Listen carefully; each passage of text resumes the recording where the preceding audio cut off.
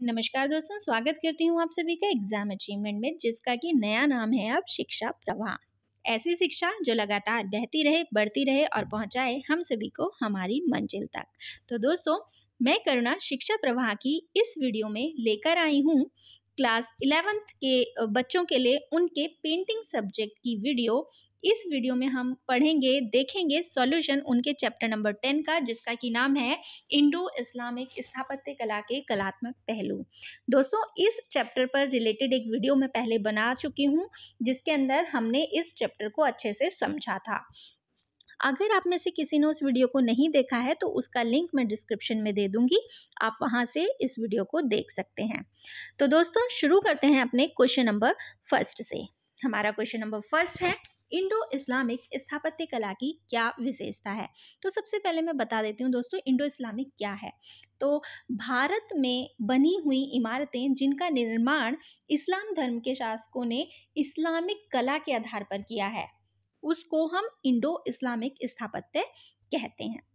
तो भारत में इस्लाम धर्म का प्रारंभ आप सभी को पता है कि सातवीं शताब्दी में लगभग हो गया था और उसके 600 वर्ष बीत जाने के बाद, यानी कि लगभग जब 1200 बारहवीं शताब्दी आई, उस वक्त भारत में विशाल ऐतिहासिक इमारतों का निर्माण हुआ और वो निर्माण जिस तकनीक से हुआ, वही तकनीक कहलाई इंडो इस्लामिक वास्तुकला।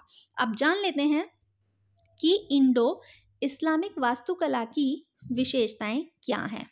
तो सबसे पहले है शहतीरों का प्रयोग, कोष्ठक, मेहराबदार संरचना, बहुस्तंभ टेक, जो कि समतल छतों और छोटे उथले गुंबदों को सहारा देते थे।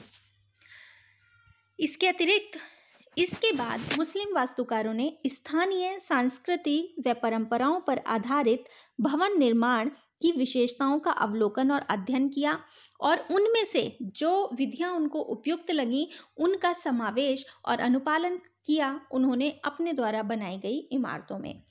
इस प्रक्रिया के लगातार अभ्यास में आने पर नई संरचना, नई तकनीक व नई शैलियों का विकास हुआ, जिसको इंडो सार्सेनिक या इंडो इस्लामिक स्थापत्य कला के नाम से भी जाना जाने लगा।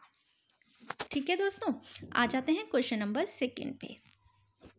इंडो इस्लामिक स्थापत्य कला शैली से भारत का परिचय कैसे हुआ? तो वही बात आ जाती है यहाँ पर भी कि इस्लाम धर्म का जो प्रारंभ था वो तो लगभग सातवीं, आठवीं शताब्दी में यहाँ हो गया था, लेकिन तब मुस्लिम वर्गों का जो था काम वो तो बस यही था कि अपने धर्म का प्रचार प्रसार करें और यहाँ पर लूट लूटना, लूट के ले जाना, फिर एक तरह से यहाँ पे वो बसना नहीं चाहते थे, यहाँ से सिर्फ़ वो अपनी आर्थिक मदद करना चाहते थे, ठीक है, और अपने धर्म को प्रसारित करना चाहते थे। लेकिन 600 वर्ष जब बीत गए तो इन्होंने सोचा, क्यों ना हम यहाँ पर ही रहना शुरू कर दें और इस कंट्री को ही अपनी कंट्री बना लें। तो वो बात थी लगभग बारहवीं शताब्दी की। तो उस वक्त वो यहाँ पर आकर रहने लगे और यहाँ पर इमारतें बनाने लगे। और जब उन्होंने भारतें इमारतें बनाने का काम शुरू करा, तब ही भारत जो है जानने लगा किसको? उनकी तकनीक को, जिसके बारे में यहाँ पर बात की जा रही है। तो जिसके चलते भारत इस्लामिक स्थापत्य कला की इमारतों के निर्माण की तकनीक से परिचित हुआ और धीरे धीरे इस कला में कुछ भारतीय तत्व और कुछ इस्लामिक तत्वों के समावेश से इंडो स्थापत्य कला का विकास हुआ। यानी कि कुछ तो उसके अंदर भारतीय तत्व थे और कुछ इस्लामिक तत्व थे। बात कर लेते हैं क्वेश्चन नंबर तीन की। तो क्वेश्चन नंबर तीन है, मुगल स्थापत्य कला की क्या विशेषताएँ हैं? आरंभ में मुगल स्थापत्य, कला की कुछ निश्चित तकनीकी तथा अलंकरण मात से लोकप्रिय व प्रचलित था। ले जैसे कि वो थी शहतीरों का प्रयोग, कोष्टक, बहुस्तंभ टेक, जो कि समतल छतों अथवा छोटे उथले गुंबदों को सहारा देते थे। आगे चलकर निर्माण की मेहराब दर्शन रचनाओं से भी इनका परिचय हुआ। ये मेहराबें गुंबद के भार को सहने में सक्षम थी। हालाँकि ऐसी मेहराबों के निर्माणों की आवश्यकता थी, जो बड़े गुंबद के भार को सहने के लिए अंदर की ओर क्रम में इस तरह जोड़ी जाए कि मध्य का पत्थर न केवल इन्हें रोकने में समर्थ हो, बल्कि अधिक विस्तार वाले विशाल गुंबद के भार को इमारत के बाह्य दीवारों पर डालने में भी सक्षम हो, ताकि विशाल गुंबद के नीचे की इमारत को स्तंभ मुक्त रखकर अधिक रिक्त स्थान बनाया जा सके। किसी इमारत के निर्माण में ध्यान रखने योग्य अन्य पहलुओं से भी मुस्लिम वास्तुकारों का परिचय हुआ। मुस्लिम वास्तुकारों ने स्थानीय संस्कृति व परंपराओं पर आधारित भवन निर्माण की विशेषताओं का अवलोकन व अध्ययन किया। उनमें से जो विधियाँ उन्हें उपयुक्त लगीं, उन्होंने उनका समावेश व अनुपालन अपने द्वारा बनाई गई इमारतों में कर लिया। आ जाते हैं क्वेश्चन नंबर फोर पे। कुतुब मीनार की संयोजनात्मक व्यवस्था का वर्णन कीजिए। तो भारतीय स्मारकों में विश्व स्तरीय पहचान रखने वाले गगनचुंबी इमारत कुतुब मीनार का निर्माण दिल्ली सल्तनत के संस्थापक कुतुबुद्दीन ऐबक व उसके उत्तराधिकारी दामाद इल्तुतमिश ने करवाया था। कुतुब का अर्थ होता है स्तंभ, जो न्याय में संप्रभुता का प्रतीक हो। यह मीनार कुवत उल इस्लाम मस्जिद के दक्षिणी प्रवेश द्वार, जिसे कि अलाई दरवाज़ा कहा जाता है, के पास स्थित है। इसका उपयोग नमाज़ अदा करने के लिए किया जाता था।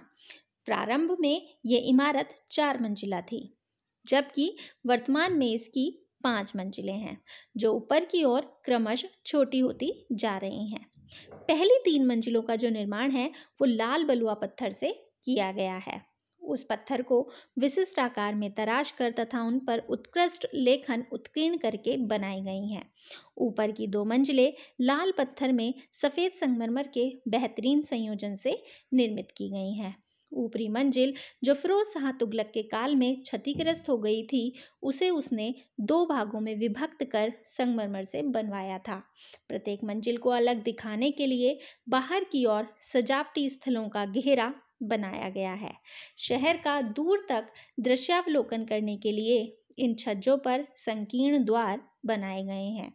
इन द्वारों तक पहुँचने के लिए अंदर सीढ़ियाँ बनी हुई हैं, जो कि वर्तमान में सुरक्षा की दृष्टि से बंद कर दी गई हैं। आ जाते हैं क्वेश्चन नंबर फाइव पर। क्वेश्चन नंबर फाइव है, गोल गुंबद इमारत की क्या विशेषता है? तो गोल गुंबद मोहम्मद आदिल शाह का मकबरा है और इसका निर्माण भी आदिल शाह ने ही करवाया था और कब करवाया था? 1659 ईस्वी में कर्नाटक के बीजापुर में और ये इंडो इस्लामिक शैली पर ही बना हुआ है। ये एक चूना पत्थर और ईंटों से बनी हुई स्मृति इमारत है, जिसका आधार 47.5 मीटर भुजा वाला वर्गाकार तथा जो इसका गुंबद है, वो चवालीस मीटर व्यास वाला है। इसकी ऊंचाई तैंतीस पॉइंट बाईस मीटर है। गुंबद के आधार में कमल पंखुड़ी रूपी आकृतियाँ बनी हैं। एशिया के सबसे बड़े गुंबदों में से ये एक है। इस इमारत के अंदर एक विशाल हॉल बना हुआ है और गुंबद के अंदर की ओर आधार प्रदान करने के लिए आर्क और गैलरी बनाई गई है। इमारत के चारों कोनों पर अष्टकोण हैं। सात मंजिलों वाली मीनारें हैं। इन मीनारों में गुंबद तक जाने के लिए सीढ़ियाँ बनी हुई हैं। गुंबद के गोलाकार आधार को अंदर से अलंकृत करने के लिए लटकती हुई कुछ आकृतियाँ बनाई गई हैं। गोल गुंबद मध्य मध्ययुगीन भारत की बेहतरीन शैलियों का मिश्रण है। इसकी संरचनात्मक विशेषताओं में महत्वपूर्ण है। इसका गुंबद मेहरावें गणितीय समानुपात तथा भार को वहन करने की तकनीक और इसकी पर्शियन शैली।